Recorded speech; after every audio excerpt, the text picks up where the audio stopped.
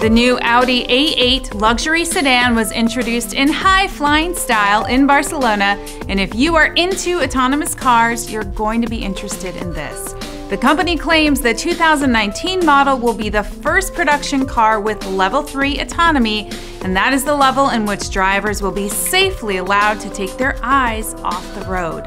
This car can start, accelerate, steer, and brake under full autonomy up to 37 miles per hour.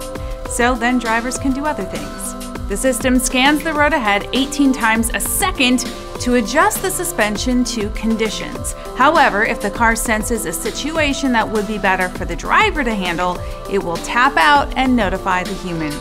The one caveat we need to get in here is that individual countries will be able to determine the level of autonomy this car has when it's sold in its borders because some of the functions might be illegal under existing law. To get around that, Audi will geofence for those functions. The semi autonomous system is managed by the newly dubbed Audi AI system that will soon go into all new vehicles that Audi makes. The new A8 also has a mild hybrid drivetrain, which allows the vehicle to coast at speeds between 34 and 99 miles per hour.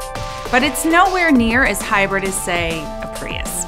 By the way, we're now only one level away from the range in which technologists say operators will be able to safely take naps. That's a level 4 autonomous vehicle. Until the day all cars have that, I'll be right here. See you tomorrow.